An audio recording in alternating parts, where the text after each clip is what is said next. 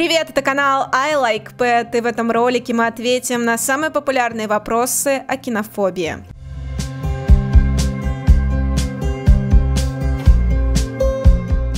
Кинофобия – это страх собак. По оценкам Всемирной организации здравоохранения, это одна из самых распространенных фобий в мире. Чаще всего эта фобия встречается у людей до 30 лет.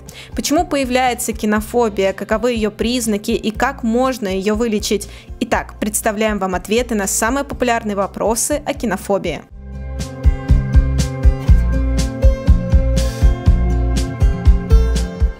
Кинофобия чаще всего появляется в детстве. Она может возникнуть как из-за неприятного опыта общения с собаками, так и из-за внушения взрослых. Многие родители в попытках уберечь ребенка оттаскивают его от собак и заставляют его обходить лающих стороной. Вырастая, человек продолжает бояться собак, даже не имея неприятного опыта общения с ними. Часто причиной кинофобии становятся серьезные личностные комплексы и расшатанная психика. Собаки, как непредсказуемые животные, представляют угрозу для психических психически неустойчивого человека. Также кинофобия часто характерна для глухонемых людей, которые не могут отличать дружелюбные звуки собак от агрессивных.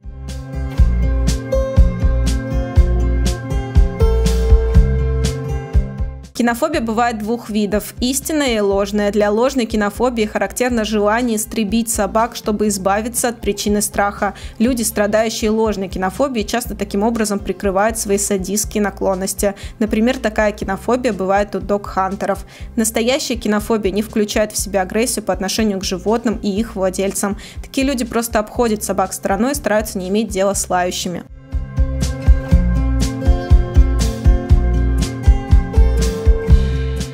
Один из главных симптомов кинофобии – тревожное состояние без видимой на то причины. Человека, страдающего этой фобией, постоянно преследуют мысли о возможном нападении собаки, даже когда никакой опасности рядом нет. Часто кинофобы страдают нарушением сна, потому что тревожные мысли не отпускают их даже ночью. Важно понимать, что кинофобия – это иррациональный страх. Осторожное отношение к животным – не кинофобия. Не страдающие от этого расстройства люди могут опасаться незнакомых больших или бездомных собак, но при этом спокойно общаться с собаками своих соседей или друзей. Человек же, страдающий кинофобией, боится всех собак без разбора.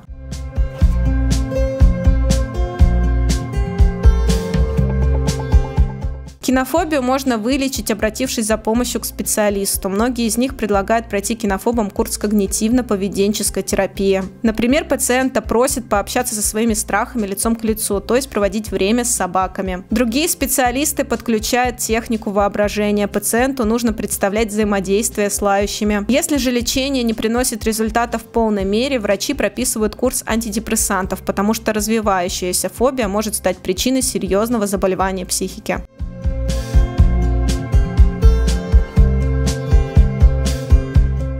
Теперь вы знаете ответы на самые популярные вопросы о кинофобии. Если вы заметили у себя признаки этого расстройства, обратитесь за помощью к специалисту.